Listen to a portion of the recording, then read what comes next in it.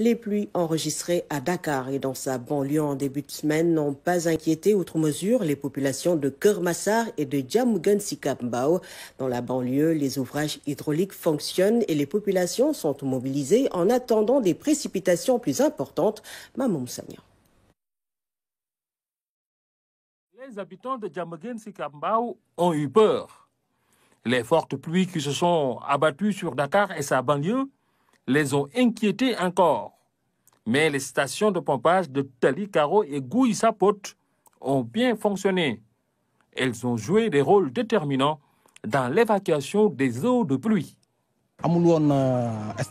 Il n'y avait pas de station de pompage dans le quartier. Nous étions très fatigués. Même le poste de santé n'était pas épargné par les eaux de pluie. Toutes les eaux convergeaient vers Talikaro. Maintenant, c'est du passé. L'eau est pompée et va directement à Guissapo.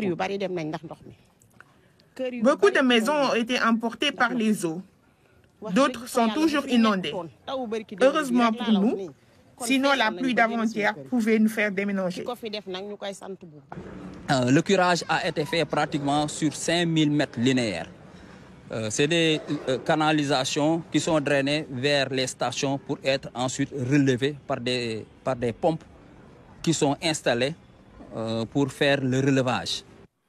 À Djamgen Sikambao, à Talikaro précisément, ce site jadis était connu comme zone inondable après chaque pluie l'eau occupée, rue, ruelle et demeure pendant plusieurs semaines. À Tali Mamdjara, l'eau est encore là. Pourtant, le système d'évacuation a marché. Qu'est-ce qui s'est passé alors? Sur cette rue-là, il y a une partie qui n'est pas drainée par le canal du fait d'un dysfonctionnement sur la réalisation de la route. Euh, en termes clairs, il y a deux élévations que nous appelons crêpes. Ces deux élévations créent une cuvette qui fait que le canal est en hauteur par rapport à la chaussée. Donc, euh, euh, le phénomène gravitaire n'est pas assuré. Cette route est mauvaise maintenant, est impraticable. On a demandé, de, voilà, depuis 5 ans, 6 ans, on demande qu'on qu refasse, qu'on réfectionne cette route. Et on ne peut pas l'avoir. Donc, l'eau ne va pas passer. Donc, on demande la réfection totale de cette route.